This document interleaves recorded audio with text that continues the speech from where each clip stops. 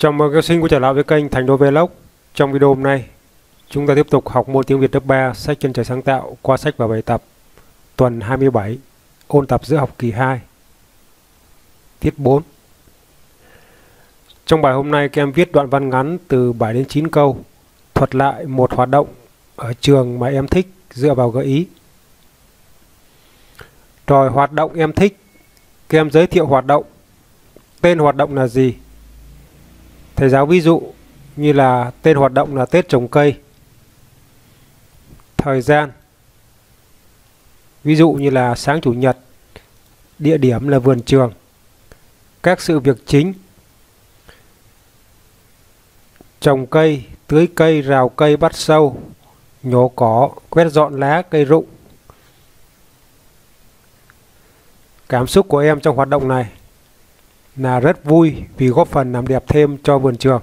Thầy giáo ví dụ như vậy. Rồi sau khi chúng ta có một sơ đồ tìm ý như thế này rồi, thì các em sẽ hoàn chỉnh đoạn văn ngắn từ 7 đến 9 câu. Rồi nếu em nào dồi dào cảm xúc thì 10 câu cũng không sao. Viết đoạn văn ngắn từ 7 đến 9 câu để thuật lại hoạt động đó. Trước hết là các em bấm tạm dừng video. Các em dựa vào gợi ý và các em làm bài nha. Rồi bây giờ thì các em sẽ tham khảo đoạn văn ngắn từ 7 đến 9 câu. Thuật lại hoạt động Tết trồng cây ở trường em.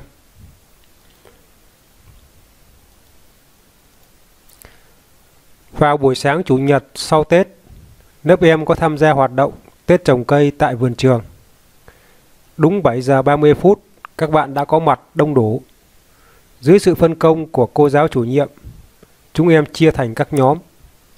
Nhóm trồng cây non, nhóm nhổ cỏ, rào cây, tưới cây, nhóm tỉa cành bắt sâu và nhóm quét dọn rác, lá rụng quanh vườn trường. Không khí lao động rất hăng hái và sôi động, tiếng cười nói như đàn chim non líu lo khắp vườn trường.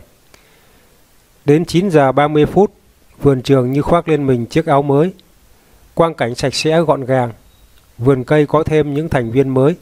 Buổi lao động kết thúc, chúng em ra về. Tuy có hơi mệt một chút, nhưng trong lòng ai cũng cảm thấy vui, vì đã góp chút sức nhỏ bé của mình làm đẹp thêm cho vườn trường. Rồi thầy giáo ví dụ như vậy, các em tham khảo và làm bài nha. Video hôm nay đây là kết thúc. Xin chào và chúc em học tốt.